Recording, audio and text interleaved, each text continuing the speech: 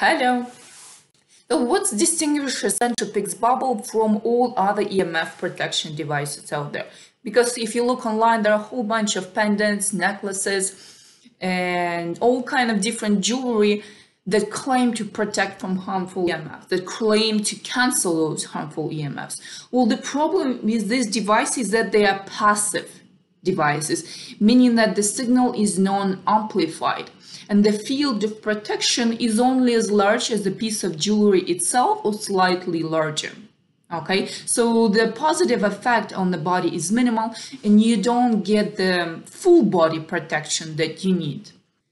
Now, bubble, unlike all other EMF protection devices, so the, it emits an amplified signal means that it, the signal is strong enough to create an area of protection around your whole body to create a bubble of protection around your body.